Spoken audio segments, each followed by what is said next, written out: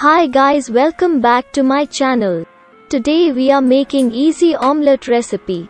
Take a small pan and switch on the stove.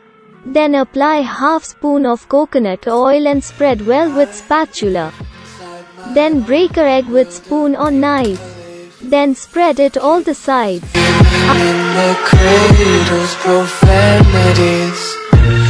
After add some pepper powder and little bit of salt on all the sides.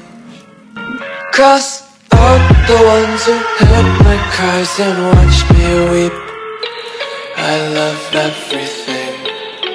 Fire spreading all around my room. My world's so bright, it's hard to breathe, but that's alright. Hush. Then heat it in medium flame for 30 seconds. Then turn it into another side by turner tool. Again heat it for 5 seconds.